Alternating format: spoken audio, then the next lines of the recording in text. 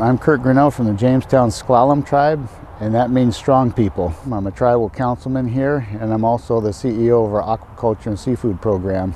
Right here behind me we have Sequim Bay, and this is where our original tidelands are for our new aquaculture projects. The elders they'll tell stories about the Dungeness River and the Elwha River and these other uh, streams that we have, about all the crab and the shellfish and the salmon that we had all the different types that we just don't have anymore in those numbers where they could go out and get them at any time they wanted eat as much as they want without making them ill from toxins. They remember all that. It wasn't that long ago. It's my mother's generation and generations before her. They were all there during the times where they call them the good times. Just over here to the west of us is called the Jimmy Come Lately Creek.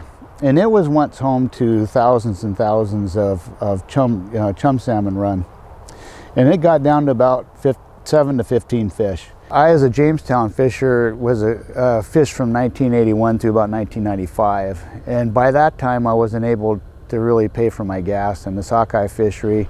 Our coho fisheries had been gone for years by then. Uh, we used to move from one fishery to the other, but coho were already gone. And then we moved into the chum fishery.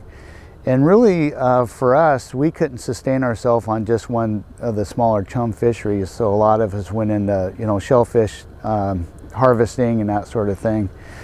But what it did tell the tribe is that we were in trouble, and it came quicker than we'd all really thought it would.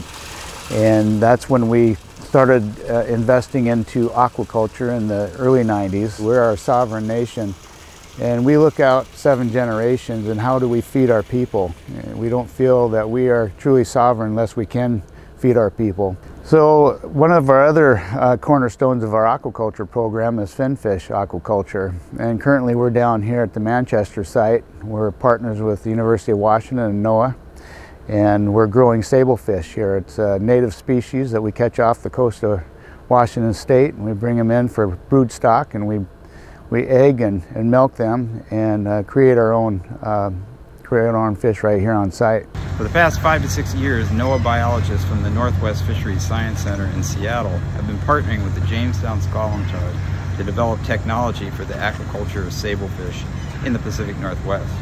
This currently involves a pilot study growing sablefish in net pens at the NOAA Manchester Research Station where the Jamestown, NOAA, and the University of Washington are rearing 10,000 sablefish to commercial size and then harvesting and processing them to determine growth rates, fillet yields, quality, and marketability.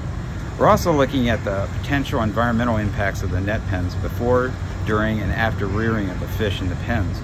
This is a study that's funded by the NOAA National Sea Grant Program and NOAA Fisheries with the intent of transferring grow-out sablefish technology to the Jamestown tribe so that they can continue this at their own net pen sites. Sablefish are, are a very robust species of fish.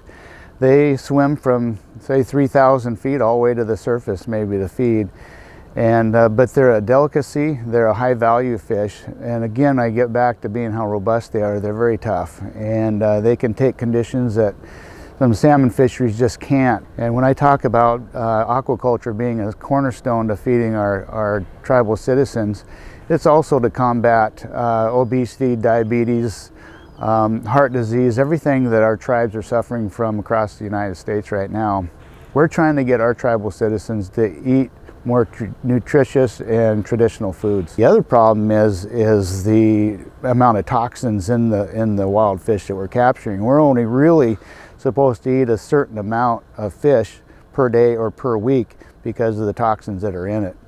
These fish here we feed ourselves and they're not taking those toxins in and so they're very clean fish. You know, you could eat these fish every day and, and not have those impacts from the toxins. People ask us all the time, well, why are you doing this in the water? Don't you realize that, that the, there's fish waste?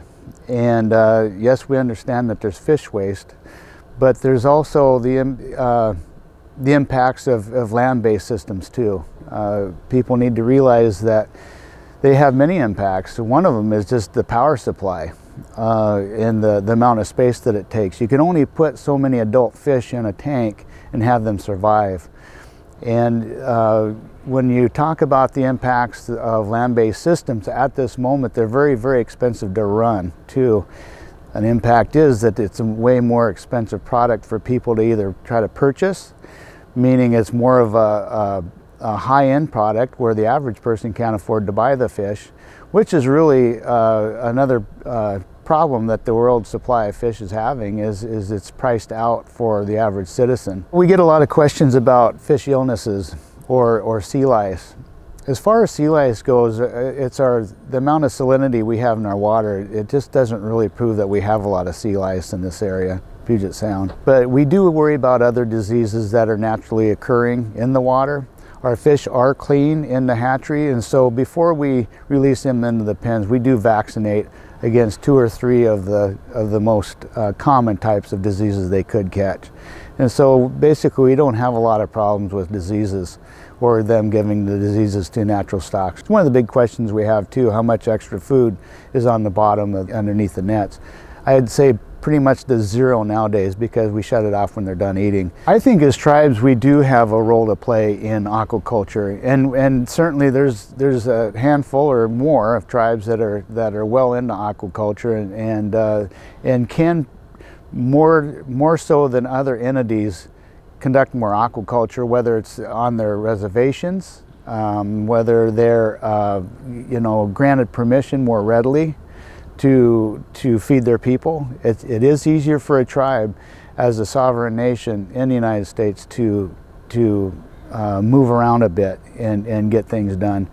It, we still have our own in-house people that uh, our own biologists, our own scientists that keep us in, in a straight line as far as you know, sustainability and to make sure we're not causing harm when we're, when we're uh, raising our fish or shellfish. But one thing that um, perhaps people know as a sovereign nation when we start looking at food sources, they know we come in and we're serious. Something that we've been eating for a thousand or two thousand years here is no longer here.